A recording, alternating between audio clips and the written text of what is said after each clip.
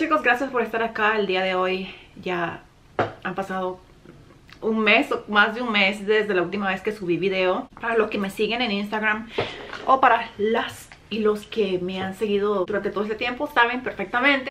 Me fui para Guadalajara a someterme a una cirugía plástica. Mi cirugía fue el 28 de abril. Estoy casi exactamente a seis semanas postoperatoria. Entonces les voy a contar toda mi experiencia y por qué fue que yo escogí Guadalajara esta vez en vez de Tijuana porque saben que la última vez fui a Tijuana a hacerme un mami makeover. Agarren su cafecito porque el chisme va a estar un poquito largo.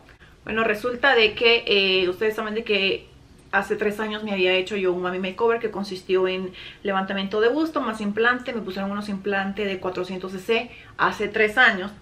Y también me hicieron una lipectomía. El problema fue que ya con el tiempo fui presentando como dolor de espalda. Este, ya no me gustaba el aspecto de cómo se miraba el pecho. Entonces eh, decidí que era tiempo para retirarlos, levantarlos un poco más y poner un implante más pequeño. Eso fue exactamente lo que hice tres años después, ahora que estuve en Guadalajara este abril. Básicamente lo que me hicieron fue un levantamiento de pecho con la cicatriz en forma de T invertida o como le llaman también en forma de ancla. Eh, de esta manera hay un mejor levantamiento, mejor proyección y pues me pusieron unos implantes de 360 cc. La vez pasada tenía 400, bueno, esta vez me retiraron bastante tejido y hicieron el seno más pequeño, con muchísimo más eh, elevación, más proyectados. O sea, básicamente el doctor hizo magia. En este momento no se puede apreciar porque traigo el brasier quirúrgico. Más adelante les voy a estar enseñando mis resultados. Esto fue lo que me hice. Reducción, levantamiento y cambio de implantes. Eso fue lo que me hice. Yo les he explicado que cuando uno se hace una... Tengo un pelo, ¿qué? Cuando uno se hace una lipectomía o un tummy tuck, no te hacen eh, liposucción en lo que es el abdomen. O sea, en la parte de acá es muy riesgoso hacer liposucción porque puede haber necrosis o muerte del tejido. La liposucción que me hicieron a mí cuando me hice el mami makeover fue básicamente en los flancos y en la espalda. Esa fue la única liposucción que me hicieron cuando me hice el mami makeover que fue en Tijuana con el doctor Manuel Gutiérrez. Es muy reconocido en Tijuana. También le dicen el doctor Tijuana fue con él hace tres años. Yo no me hice liposucción en la parte del abdomen acá adelante, sin embargo pues el abdomen me quedó pues planito. Por lo general muchas mujeres que, que nos hacemos este procedimiento esperamos a sanarnos y luego hay un segundo round que le llaman o que eh, vuelves a, a, hacerte otra lipo para perfeccionar las cosas que no quedaron bien en la primera. En mi caso lo que hice fue hacerme una marcación abdominal y esta vez fui con el doctor Gonzalo Núñez. Él opera en el Hospital Innovare, para los que son familiarizados con eh, Guadalajara. Saben que el Hospital Innovare es muy reconocido por la especialidad, es, eh, cirugía plástica, la mayoría de, los pacientes es cirugía plástica, bariátrica es para eh, bajar peso, bariátrica es para los pacientes que pues, les, les hacen cirugía para que bajen de peso eh, ya sea con la manga gástrica, bypass gástrico. La verdad, yo en ese, yo en ese ramo no conozco mucho. Mi doctor fue Gonzalo Núñez, entonces pues yo lo contacté a él. De hecho, lo contacté cuando estaba lo de la pandemia el año pasado, cuando estaba la pandemia full. Y entonces eh, le dije que, que, era lo que yo quería. Lo contacté por Instagram primero, entonces ya le dije que era lo que quería. Ya les mandé mi foto y le dije, doctor, quiero componerme esto. Eh, y quiero que me haga las marcaciones abdominales que él hace. Por eso fue una de las cosas que me fui para Guadalajara, porque en Guadalajara eh, hacen la cirugía un poquito como más diferente que en Tijuana. No es que Tijuana tenga mala reputación, no, no estoy diciendo eso. Pero verán que yo sigo eh, varios... ¿Cómo se dice? Varios grupos en Facebook de chicas que se van a operar ya sea a Tijuana y a Guadalajara por lo general. Y entonces he visto muchas chicas que se han operado en Guadalajara y me han gustado muchísimo más sus resultados en comparación con las eh, que se llegan a operar Tijuana. Tijuana es más que todo así como para mami makeover, cosas así, pero lo que es en contorno corporal y lo que es en marcación abdominal o lipo HD, lipo en alta definición ¿Qué es lo que significa lipo en alta definición? Básicamente es que te marcan tu abdomen. Hay varios tipos de marcación abdominal. Por ejemplo, el que yo escogí o básicamente que el doctor me dijo, esta es la que te voy a hacer porque eh, la marcación abdominal tienes que tener mucho cuidado porque si no somos una persona atlética y te hacen los cuadritos o el six pack, o sea, no, va, no va a ser no va a concordar tu abdomen con el resto de tu cuerpo. Por lo tanto, si eres una persona delgada y solamente quieres como definir el área de tu abdomen, eh, te pueden hacer un soft definition, que le llaman ellos, que simplemente eh, que te moldean bueno, tu cintura y te marcan solamente los oblicuos y la línea media. Eso fue lo que me hicieron a mí. Hay otra también que se llama Fit. Em, que es una marcación abdominal fit y esa pues en esa sí te remueven mucho más grasa y pues te marcan como más eh, el abdomen. Y está la que mayormente se hacen los hombres que es la marcación del six pack esa por lo general se lo hacen más los hombres porque es como que se ve más natural en el hombre. Obviamente, siempre y cuando el hombre pues, sea atlético, vaya al gimnasio, sí se va a ver más natural. Para las mujeres lo más recomendable es como hacer un soft definition o si eres atlética y levantas pesas y pues tienes tu cuerpo bien bien armado trabajado del gym probablemente quede bonito con el fit en mi caso solamente fue un soft definition porque pues soy una persona delgada no soy atlética no me considero atlética eso fue lo que a mí me llamaba más la atención la definición del abdomen y la aparatología que usaba el doctor eh, Gonzalo Núñez que él trabaja con lo que es el Body Tight. El Body Tight es un aparato novedoso que lo que hace es te hacen la liposucción, luego que te hacen la liposucción te pasan ese aparato que trabaja con, sí trabaja con polaridad, polos negativos, polos positivos y lo que hace es que retrae tu piel muchísimo más que el J-Plasma, que es también para retraer la piel. Cuando te haces una liposucción, tu piel se retrae naturalmente hasta cierto punto, pero cuando tienes mucha piel suelta, lo mejor es ayudarla o asistirla con algún aparato que te ayude a que la piel se retraiga aún más y no te quede floja. El Body Type, que es lo que él pues eh, usa en, sus liposucciones como asistente de liposucción para que tu liposucción te quede mm, mejor, para que tu piel se adhiera muchísimo mejora tu cuerpo. Entonces eso fue lo que a mí chicos me dije no me voy a ir para Guadalajara. Y de aquí soy dije yo de Guadalajara. Les voy a decir algo el doctor se mantiene muy muy ocupado eh, si no me equivoco casi todos los días. Hice mi cita hice mi cita como tres meses antes para mi cirugía. Aparte de mi fecha tienes que pagar un depósito. Se pasó tan rápido el tiempo que Dios mío miren miren qué rápido ya tengo seis semanas de operada bueno, se me llegó el día, eh, llegué, miré al doctor, eh, platicamos y más o menos yo le dije, quiero esto, y entonces ella me dijo, sí, te puedo hacer esto, no te puedo hacer otro, de hecho quería hacerme otras cosas, quería hacerme como una marcación aquí de, la mandíbula, dijo que no la necesitaba, no me la terminé haciendo, pero sí la quería. Hola chicas, ¿cómo están? Ayer fue mi cirugía,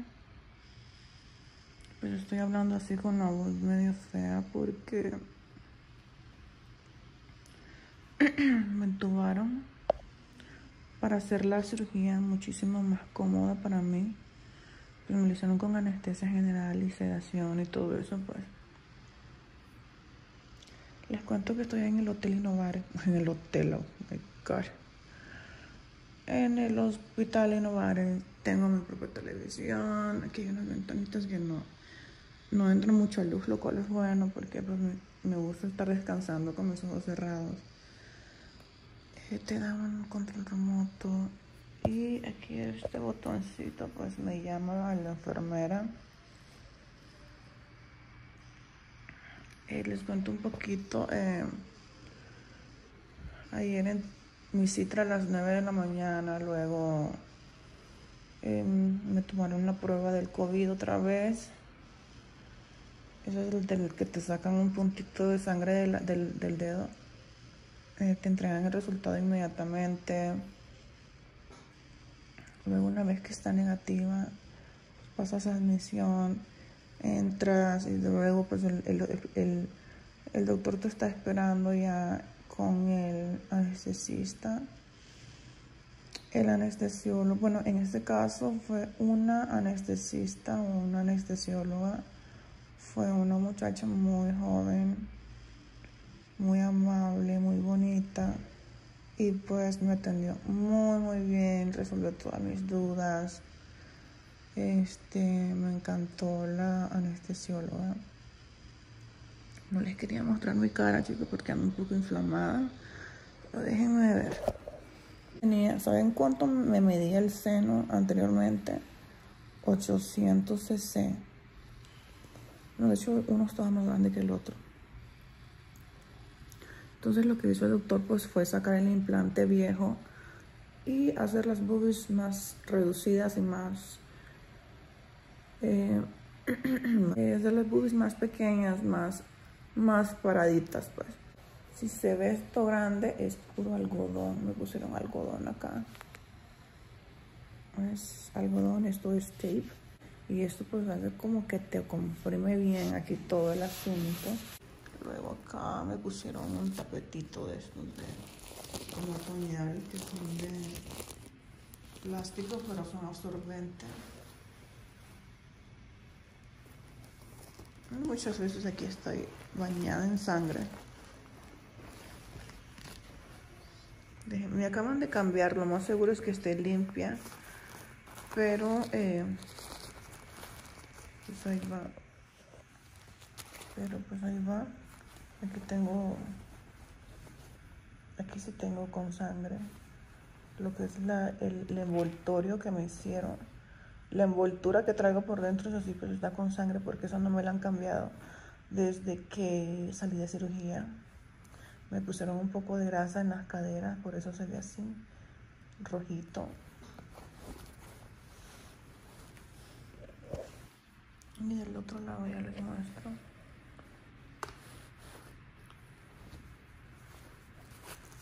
Y les muestro porque yo sé que muchos de ustedes están esperando este video. Tengo una sonda urinaria porque cuando te hacen la... te ponen anestesia general, pues no puedes ir al baño. De hecho, a mí me tomó horas recuperar la sensibilidad de las piernas. No las podía sentir. No podía sentir piernas, chicas. Hasta ya hoy en la mañana, pues ya me siento mejor. Ya recuperé la sensibilidad.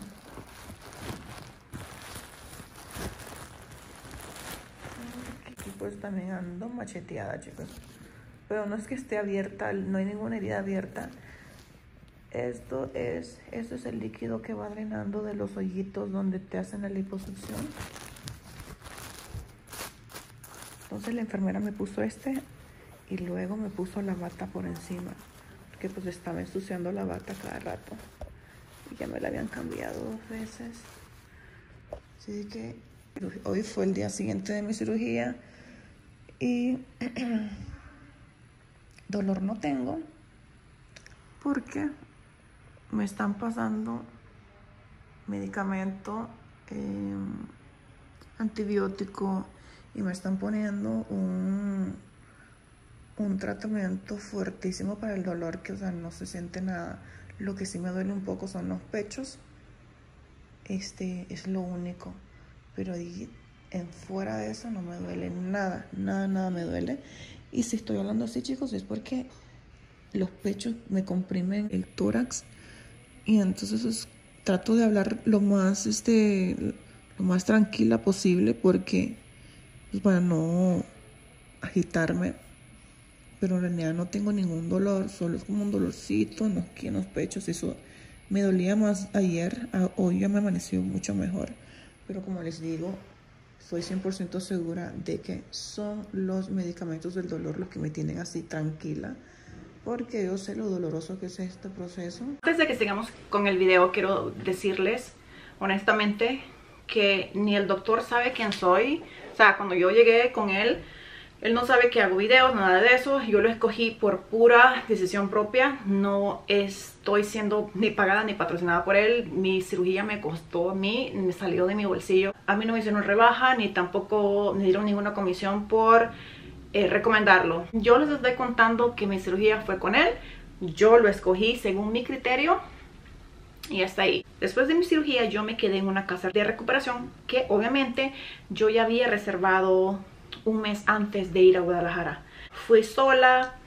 Eh, yo pienso que lo mejor para una recuperación más óptima es que te cuide alguien que sepa, una enfermera que esté acostumbrada o que su especialidad sea pacientes postquirúrgicos de ya sea de liposucción, implantes, por la mejor decisión que pude haber tomado fue haberme quedado en una casa de recuperación. Yo les había comentado que la casa de recuperación en la que yo me quedé se llama Numi. La dueña es muy muy atenta, me gustó que en cuanto yo mandé mensaje, cotizaciones y todo eso y para hacer la reservación, ella muy amable, me hizo la reservación eh, tienes que mandar un depósito primero, lo haces por transferencia bancaria, la, la, tarifa cambia dependiendo de cuántos días te quedes antes de tu cirugía y dependiendo también qué cuarto escojas porque tienen un cuarto compartido y tienen otros cuartos que son individuales y que tienen aire acondicionado, yo les recomendaría si van a hacerse este tipo de cirugías y van a ir a Guadalajara y se van a quedar en una casa de recuperación, no sean tacaños con su eh, recuperación porque la recuperación tiene que, tiene, tiene que ver muchísimo con el resultado que vas a obtener. Quédense en, una, en un cuarto con aire acondicionado preferiblemente porque después de que te operas es muy recomendado que tu cuerpo esté en una temperatura con temperatura fría eh, tienes una mejor recuperación obviamente. Y pues en Guadalajara chicos en Guadalajara hace un calor que yo no me imaginaba. Lo que me gustó de esa casa de recuperación es que solamente hay tres cuartos y bueno en uno uno es compartido y los otros son individuales lo cual significa de que no hay muchos pacientes al mismo tiempo. Entonces imagínense mientras menos pacientes mejor la atención te pueden brindar. Luego también te llevan el día de tu cirugía luego te llegan a recoger del hospital y pues de ahí empiezan todo tu cuidado y tu manejo como paciente. Te dan tus medicamentos, te, limpian el cuarto, te lavan la faja todos los días y lo que más, una, una de las cosas que también por eso me quedé en una casa de recuperación fue porque me dieron todos mis masajes. O sea, desde el día siguiente de mi liposucción, empezaron con los drenajes linfáticos, que son masajes, la verdad, les soy, les soy honesta, a mí no me dolieron. De hecho, quizás el primero sí como que dolió un poquito porque la piel estaba muy sensible. Pero los, los drenajes linfáticos te ayudan muchísimo, te, tranquilizan la, la piel, te ayuda mucho a desinflamar. La verdad era mi parte favorita de todo el proceso. Los masajes me encantaron. Chicos, son las 2 de la mañana. Déjame ver. 2 y 48. Y pues vamos ando caminando porque hay que caminar para que los líquidos del cuerpo pues vayan saliendo. Dolor ahorita no tengo porque el doctor sí me, este doctor me mandó les voy a enseñar el montón de medicamentos que estoy tomando. Estoy tomando con una camisa sí bien grande. Es una, es una camisa talla uh, plus. Esto es todo mi medicamento pues miren. Todo esto es el medicamento que me mandó el doctor. Para el dolor, antibiótico. Esto es para la herida, microdacin. Esto también es para el dolor. Y hay uno aquí que no sé cuál es. Es un diurético. No me acuerdo cuál es, pero entre todo este pastillero que tengo aquí. No solamente para el dolor inflamación moretes em, antibióticos también para la herida. También hay un diurético que ese diurético lo que va a hacer es desinflamarme lo más pronto posible. Pues así duermo. Pongo una almohada acá aquí hay otro otro cojincito. Este cojincito también es para postoperatorio. Y aquí le pongo este pañal o es un tapete absorbente no sé cómo quieran llamarle. Y aquí me acuesto. Siempre estoy drenando o sea es imposible mantener estos tapetitos limpios porque pues apenas mi cirugía fue el 28, hoy es primero creo, déjenme ver. Oh no, espérense. Hoy es 30 de abril. Eh, hoy es 30 de abril y entonces pues eh, apenas tengo dos días de operada. Bueno, eh, tengo que poner las, las almohadas así una sobre otra porque no puedo dormir toda plana. Tengo que dormir semi sentada por la reducción de senos. Entonces pues aquí es donde yo duermo. Allá tengo el esa cosita blanca es donde yo le, puedo escuchar y pues viene la enfermera. Tengo los controles de la televisión, pues mi celular siempre todo el tiempo conmigo. Como les digo, oh. el doctor recomienda tomar estos electrolitos un litro y medio diario, ni más ni menos. No jugo, ningún otro líquido más que estos electrolitos eh, ni siquiera agua. El cuerpo se me mira unas caderas que ni les cuento. Obviamente estoy súper inflamada. Ahorita traigo un pañal por dentro también. Traigo un pañal. Traigo un pañal y ando bien. Este, la, la, sangre ya se me ha pasado bastante para la faja. Camino mojada, las que pues no es algo agradable de, eh, demostrarles ni enseñar, pero pues crudamente, crudamente esta es la recuperación de una cirugía, eh, ya sea una liposucción o ya sea una, una lipectomía. A esto es lo que se van a meter. O sea, crudamente esto no es un juego, es de cuidarse mucho y no solamente pues poner tu vida en riesgo, obviamente aunque sea el mejor doctor del mundo, siempre pues hay su riesgo en todo procedimiento. Bueno, en cada procedimiento quirúrgico existe, aunque sea un poquito el 1% o menos del 1%, pues existe riesgo, ¿no? Entonces cuando te metes a hacer de estas cosas ya lo sabes. Por eso yo siempre recomiendo escojan, sepan escoger a su médico Déjenme ver si les puedo mostrar aquí en el espejo. Pero pues chicos, esto no es un juego. La verdad que la recuperación es muy seria. La recuperación es algo que se tiene que tomar en serio.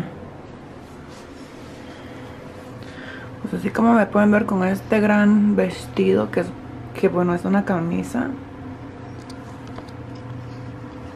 Es una camisa tengo que andar con estas medias todo el tiempo. Siempre siempre la, la, faja siempre la vas a traer manchada. Cuando te haces una lipo la es una de las cosas que siempre vas a tener manchadas y es la faja que siempre vas a estar drenando. Siempre vas a estar drenando ese liquidito que quedó ahí y mañana por la mañana me van a bañar y me van a dar un masaje. Así que me voy a volver a acostar y pues me voy a volver a dormir porque tengo sueño. Los, los medicamentos del dolor me dan sueño. Pero pues es bueno levantarme, caminar por unos 15 minutos. Luego una vez que te quitan los drenos, que a mí me dejaron unos puputitos, unos, unos, unos tubitos de plástico te dejan para que vayas drenando. Obviamente eh, esos, una vez que te los quitan, después, eh, una vez que te quitan esos drenos después ya te puedes, te hacen terapia con ultrasonido y la terapia de ultrasonido lo que hace es desinflamarte muchísimo más rápido. O sea que todo este paquete venía incluido todos esos beneficios. O sea, para mí eso fue lo que me hizo decidirme por quedarme en una casa de recuperación en vez de quedarme en un hotel o contratar a una enfermera. Te daban de comer, te daban de tomar, todo, o sea, te atendían todo. Una de las cosas que a ustedes les va a gustar también es que conocen otras chicas todas las chicas que están ahí, o todas las señoras, las mujeres, chicas, lo como quieran llamarles, que llegan a las casas de recuperación, llegan por la misma razón que llegas vos. Entonces haces amistades. Es muy bonito. A mí se me hizo muy bonita la experiencia de poder conocer gente nueva gente de no solamente la señora que limpiaba, sino las enfermeras, pero las compañeras de cuarto también es una experiencia muy bonita porque puedes platicar. Tienes todo el tiempo libre porque como estás ahí recuperándote de tu cirugía y ellas también están pasando por el mismo dolor, entonces es una experiencia muy bonita. Me quedé en esa casa de recuperación por 12 días. El doctor te manda con tu faja ya viene incluido en el precio la, tu faja, en mi, en mi caso que fue faja y un brasier quirúrgico. Pero les voy a explicar algo de las fajas que yo la verdad lo puse en práctica hasta ahora. Cuando el doctor te da de alta, bueno a mí me, a mí me dio esta faja marca Marena en la talla S. Esta faja es súper stretch, es suavecita, o sea, hasta por dentro es un material como de algodón, pero súper suavecita muy delicada para tu piel. Eh, me mandaron a mi casa con esta faja. Bueno, me mandaron a la casa de recuperación con esta faja. Y también con el brasier de la, mar de la misma marca, que es el que traigo puesto ahorita. También esta vez que yo no hice esto cuando me hice la última cirugía, me dieron esta esponja. Básicamente es una esponja. Esto amarillo que está acá no es nada cochino. Esto de hecho es este medicamento que se llama rifocina. Aquí está. La rifocina es un medicamento para evitar infección. Es un spray que se pone en tu herida para que la herida no se infecte y se, tu piel la cicatrice más rápido y no le dé oportunidad a ninguna bacteria ni eh, microorganismo de, de causar una infección en las heridas. Entonces, esta me la dieron para ponerme en las heridas. Entonces como yo me las ponía en las heridas de acá, por eso es que esto está manchado de acá.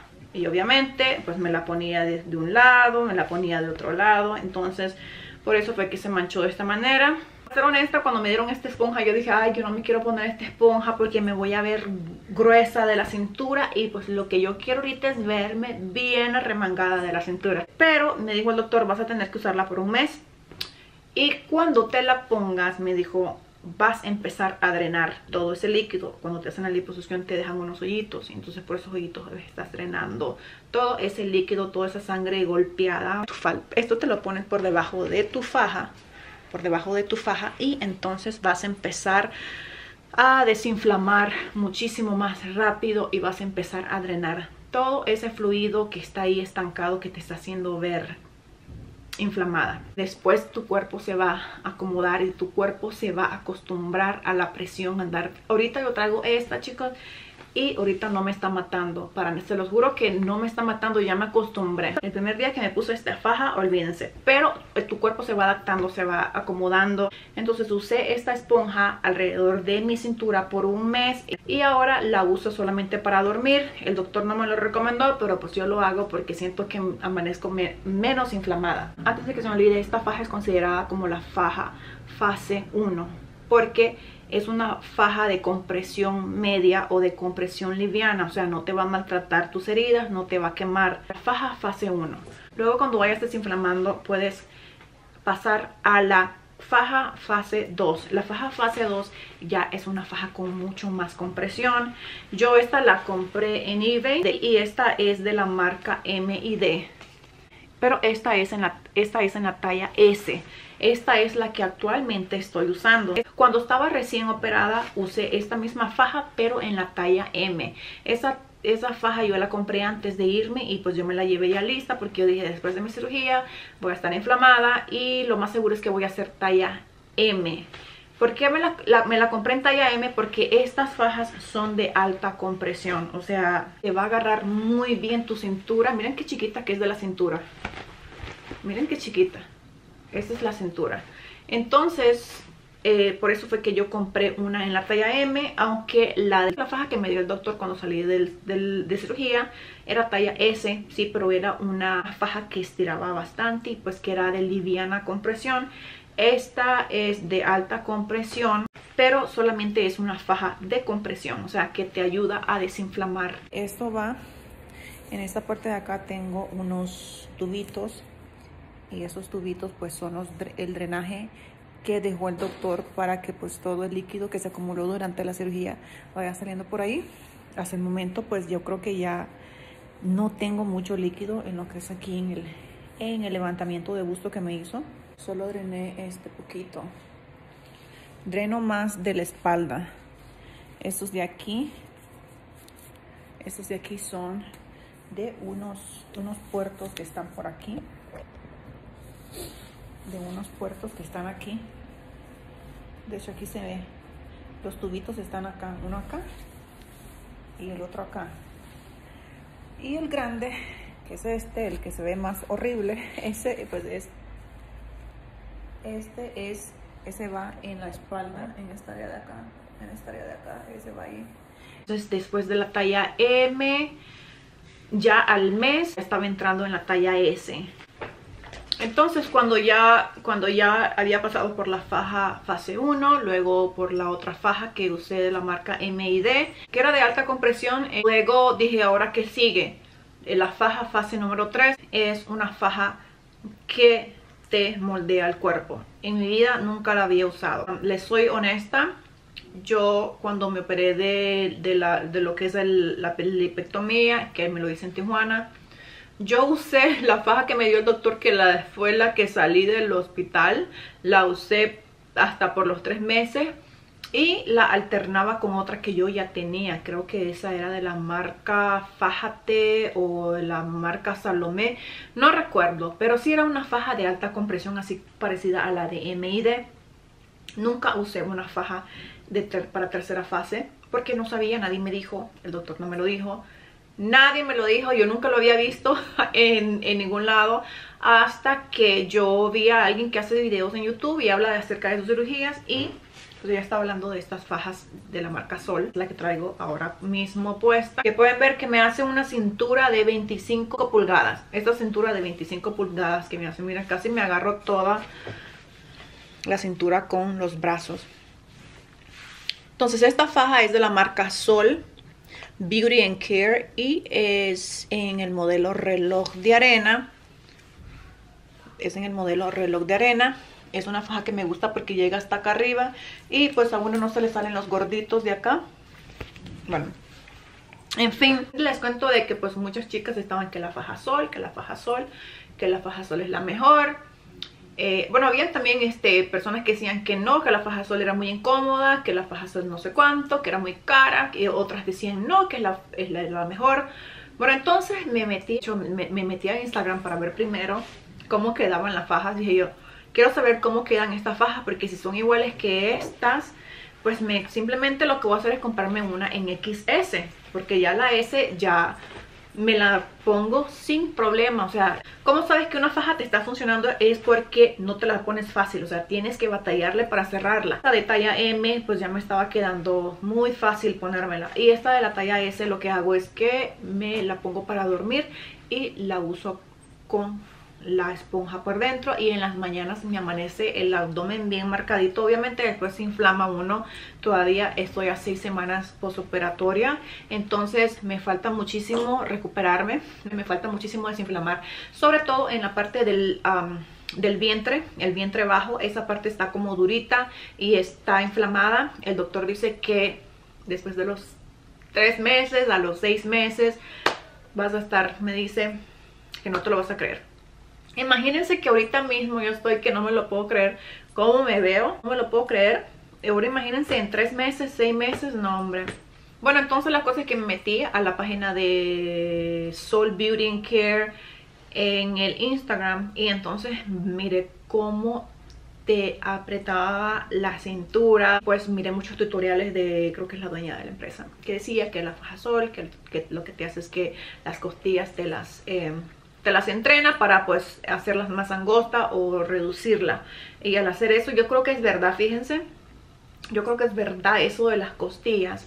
Porque me, recuerdo que las primeras veces que yo me puse esta faja me dolía esta parte de acá. Pero yo decía, Dios mío, esta faja no la voy a poder aguantar. Ya gasté en balde, ya esta faja no me va a servir porque me está doliendo bien feo acá de las costillas. Con el tiempo pues ya ahorita mismo, miren, me puedo sentar, me puedo sentar así, me puedo sentar de esta manera. De hecho, mejora la postura porque te obliga a sentarte con tu espalda recta. Y eso pues me gusta mucho porque también estoy trabajando con mi espalda. Espalda para mantenerla recta.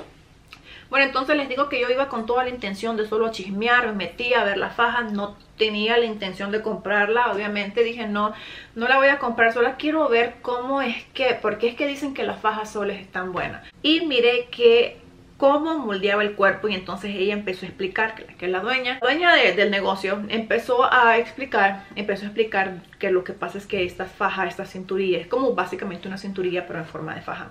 Bueno, creo que la cinturilla trae varillas acá, esta solamente trae varilla en la parte de atrás. Entonces ella empezó a explicar que lo que hace esto es comprimirte las costillas y moldearte tu cuerpo. O sea, las otras fajas, la faja de fase 1 y la fase 2 básicamente son para compresión compresión liviana, la primera compresión más fuerte, la segunda y es meramente para ayudarte con la inflamación. La faja fase 3 debe de estar diseñada para moldear tu cuerpo. Entonces la faja sol básicamente es para eso. Chicas, son las 9 de la noche y estaba editando este video para subirlo el día de hoy. Probablemente eh, lo voy a poner público para mañana. Les quería contar de que es este, va a ser, este video va a ser solamente la parte número uno de mi experiencia con esta cirugía, porque es que saben que es mucha información y es muchas cosas lo que yo les tengo que contar a ustedes, que la parte número dos de este video la voy a subir al día siguiente. Si este video va a estar público mañana martes, el miércoles esperen la segunda parte. Voy a trabajar en la segunda parte de este video mañana mismo. Por eso, miren, me estaba rascando aquí. Por eso es que este video lo voy a terminar así abruptamente. Eh, porque ya van casi 37 minutos de video y pues apenas voy por la mitad. Entonces subir un video de una hora es como muy, muy, muy loco, ¿no? Se me hace mucho. Entonces, eh, se me hace mucho, mucha información. Entonces, déjenme, voy a trabajar en la parte número 2 de toda esta información. Les mando muchos besos, abrazos. Muchísimas gracias por haberme esperado tanto tiempo. Y nos vemos en el siguiente videito que es la parte número 2. Aquí nos vemos. Bye, bye.